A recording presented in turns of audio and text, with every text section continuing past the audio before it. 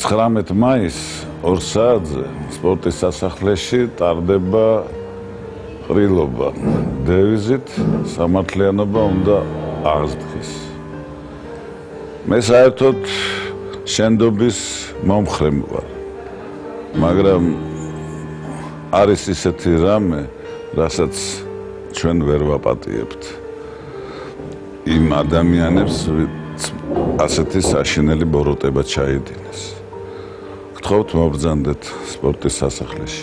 ვისაც ღირსება და სამშობლოს სიყვარული შეგვჭა 19 მაისს დღის 2 საათზე როგორც ერთი ყველანი შევიკრიბოთ სპორტის სასახლეში რათა გასამართდეს ეს რეჟიმი. 19 მაისს 14 საათზე გეოდებით სპორტის სასახლეში.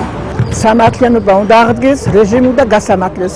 თანამემამულებო მოგიწოდებთ ყველას 19 მაისს 14 საათზე მომზადეთ აქ სპორტის სასახლეში და ხმამივცეთ იმას რომ რეჟიმი დაემთხოს რომ სამართლიანობა აღდგეს ქვეყანაზე 19 მაისს სპორტის სასახლეში დღის 2 საათზე შედგება ძალიან სერიოზული შეკრება რეჟიმის გასამართლებისათვის. ამიტომ ვისაც სურვილი გაქვთ, შეგიძლიათ შემოგვიერთდეთ დღის 2 საათზე, მეორე 19 მაისს. 19 მაისს 14 საათზე სპორტის სასახლეში. გელოდებით. 19 მაისს 14 საათზე შევიკრიბოთ სპორტის სასახლეში, რათა აღვადგინოთ სამართლიანობა. რეჟიმი უნდა გასამართლდეს.